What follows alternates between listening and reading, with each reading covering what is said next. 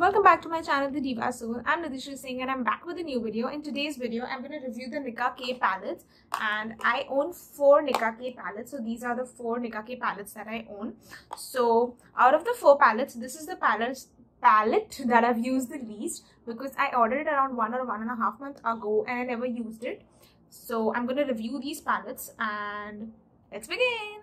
The Nicka K palettes that I own are Sugar Plum, Under the Sea, poison apple and birthday cake. So these are the four palettes that i own. This is the least used palette because i haven't used it even once because i bought it like one or one and a half month ago and never used it. The most used palette out of the three is this poison apple even though my favorite palette is uh, under the sea now moving on to the review. Starting with the packaging. The packaging is cute and simple. Not very extraordinary but not you know like it's very subtle very decent and i love this cute packaging. The name written over here and you know, the uh, the border of the packaging matching the theme of the palette. So yeah the packaging is cute and simple. Now moving on to the uh, quality and pigmentation. Now firstly i'll tell you guys my favorite palette out of the four. It is the under the sea palette why is it my favorite because it offers a variety of shades like you have brown yellow orange green, blue, and blue normal shade, and green and blue glitters. And you have uh, violet or purple, whatever we like to call it. And then you have rust orange, and then you have like a rose gold and maroonish kind of a glitter. Uh, so yeah, this this palette of, uh, offers quite a lot of variety, and you can create like so many different looks with this one palette. Whereas my least favorite palette out of the four is to is like the sugar plum palette because it does not offer a lot of shades. Like you have pink like pink shades most and these pink shades are very close to each other. Like they don't have a very uh, very vast or very you know wide range of difference between their shades and their colors. So like they are very similar except the middle middle row middle column.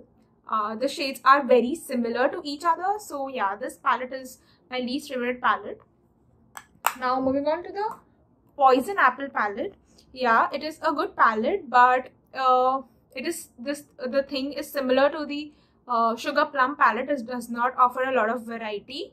So yeah. So the ranking goes like under the sea uh, poison apple and sugar plum palette now moving on to the shades. The uh, the pigmentation is amazing for the price that it comes at. But a few shades the pigmentation is not very good. Like for example the red uh, the red shade in the poison apple palette and the orange and yellow shade in the under the sea palette. So as you can see the orange shade is still better. It offers a uh, still better pigmentation than the red shade. The red on the palette appears to be very bright red but when you apply it on your eyes it turns out to be uh, you know pinkish red instead of that bright red.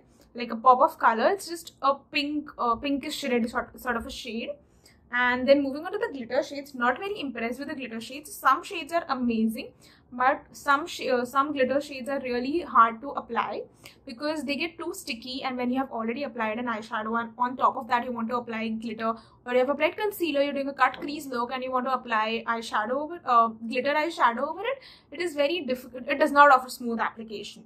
So the glitter shade that i dislike the most is this one from under the sea. I okay i had really hard time applying it because it wasn't i wasn't able to apply it evenly and smoothly on my eyelids be it with my fingers or my brush. Not uh, not a very good you know uh, experience while applying that glitter shade if I had to rate these palettes, if I had to give star rate these uh, palettes according to the quality and the pigmentation, then I would give it around 3.5 to 4 stars because not only this palette, all the 4 palettes, if all the 3 palettes because I didn't use a birthday cake palette. So if I had to rate these palettes according to their uh, pigmentation and quality, I would give it around 3.5 to 4 stars because of the price they come at. I got, uh, I bought this birthday cake palette for like, um, as a single piece, not in a combo pack. I got it for 5.99 and I bought all of these palettes from HOK Makeup and this I bought in a combo pack and I got it for 9.99 uh, three palettes for 9.99 so yeah it's very affordable for beginners who, who are just starting with makeup and don't want to invest too much money in their uh, makeup. So in eyeshadows and other makeup things and just want to start with something very affordable. So you can totally invest in these palettes. They are uh, amazing for the price they come at so I would give them 4 stars for the quality and pigmentation.